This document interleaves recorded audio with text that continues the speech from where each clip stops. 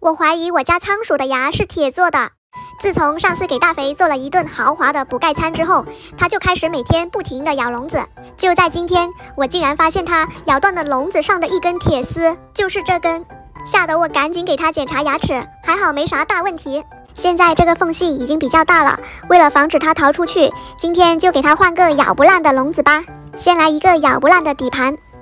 然后给它铺两包冬天必不可少的纸棉，是粉色和白色。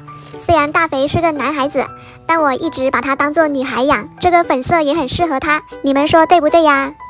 然后铺一层香香的纸粒，这个是用来除臭的。用量的话，根据你家笼子的大小来放就可以了。还有冬天要用的棉花，用手撕开，方便鼠鼠做窝。我现在拍视频，我就不撕了，并不是因为我懒哦。然后是大肥的厕所，这个尿沙是昨天给他换了新的了，现在就用我神圣的筷子把它清理干净，然后放到角落就可以啦。还有大肥的饭碗，我看粮食还没吃完，我就不给他加了。还有水壶，尽量放稳一点，不然很容易打翻。最后撒上一些香香的花干，做一个精致的猪猪男孩。大肥的笼子换好了，希望他不要再咬笼子了，心疼我的荷包呀。